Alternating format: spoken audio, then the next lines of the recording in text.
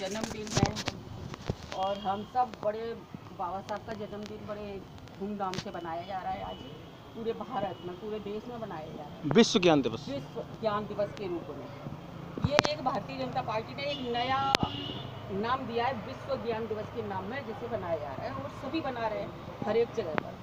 हमेशा जैसे बनता था तब भी बहुत उल्लास से बनाते थे हमारे भाई। इस बार देखने में आया कि उससे भी बहुत अच्छा।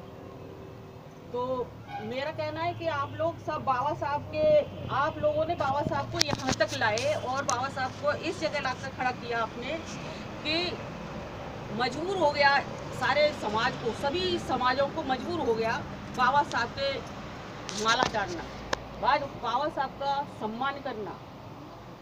अब इनकी एक मजबूरी बन गई। हमने बाबा साहब की ताकत को देखकर, बाबा साहब के संविधान को देखकर के उसे कोई काटने वाला नहीं हुआ। तो मेरा कहना है कि आप लोग बहके नहीं, एक संगठित रहें, बाबा साहब के पद चिन्हों पर चलें, किसी के बहकावे में ना। चुनाव भी करें, अपना ऐसा चुनाव करें कि जब मोदी जी आपको समझ रहे हैं, यानी बाबा साहब का सम्मान, यानी कि जाटव समाज का सम्मान।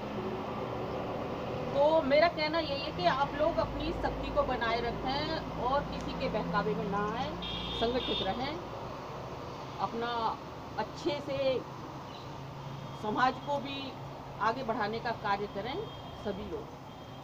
बाबा साहब